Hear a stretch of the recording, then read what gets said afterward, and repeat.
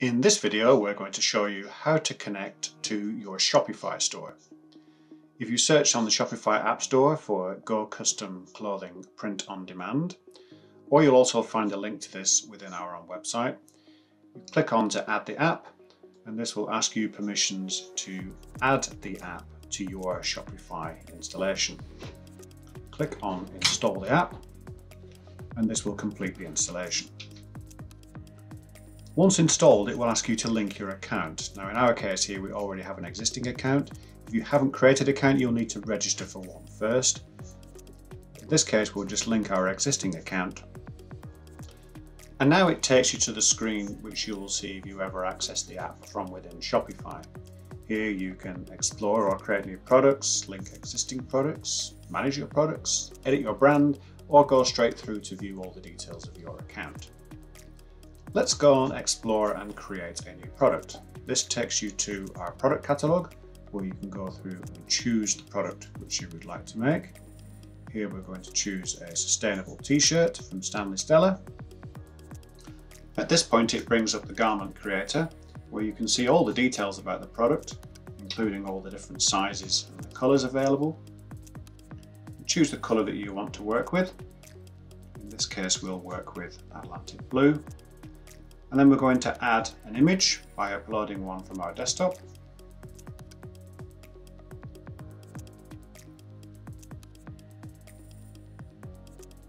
This is a high-res image, so it will print perfectly well. And this can be resized to whatever size you want and you can move the position around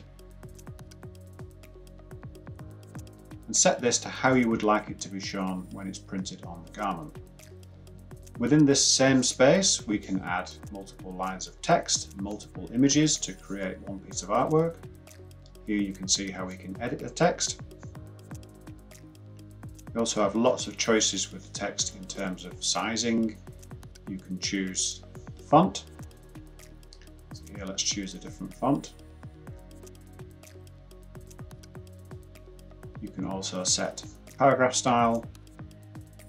You can choose a fill color, you can add a stroke to it if you wish. There's lots of different settings that you can make with the text. So that's the front design done. Now on this particular product we have three print areas including the back and the nape of the neck. We'll just add a logo here to the nape of the neck. You'll see this has got bad quality. This is because it's a low resolution file. You should really try to upload high resolution files. We can view a mock-up here of what the product will actually look like, and these images will be sent to Shopify once we create the product. So that's all the settings made now for this product. We're ready to save this product to your library on Go Custom Clothing Dropshipping. And to do that, we click on Create Product. It gives you a warning again about the low DPI image, which you can go past. Then it creates the product within our platform. This product is now ready for you to connect to Shopify or any other integrations that you may have. You can choose to rename the product if you wish to here.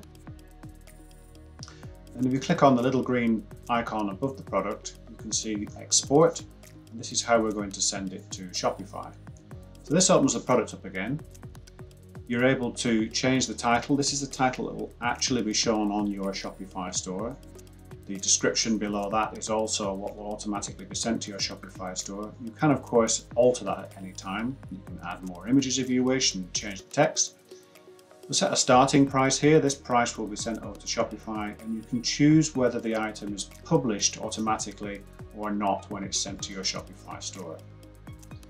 Now there's lots of variants of this product. Here we can see for this color, we can see all the different size variants. So you can choose to add all the sizes of one color or you can choose to add multiple colors. Here we've added all of the colors in the size 2XS. You can see how easy it is to add variants. We can choose to just add individual variants if we wish. So we choose a color and a size and then just click on add selected variant and that will add just the one. Or you can click on add all variants and this will add every single variant to your Shopify catalog. This really depends on what you want to offer your customers. Once you're ready, press export to Shopify and the process will begin to send all the information to Shopify. You can then click to view on Shopify and this will immediately take you to your product view on your store. How this looks will depend on the theme that you're using on your Shopify store. Can also look in the back end of Shopify and you'll see if you look at products here, this product has been added. You can go and change any of the text or the information related to the product, you can update the prices, and various things. It's important that before you start to sell items from Go Clothing that you set up your shipping matrix with weight-based shipping. There's a separate video that tells you how to do this to make sure that you use the correct shipping rates when shipping products to your customers.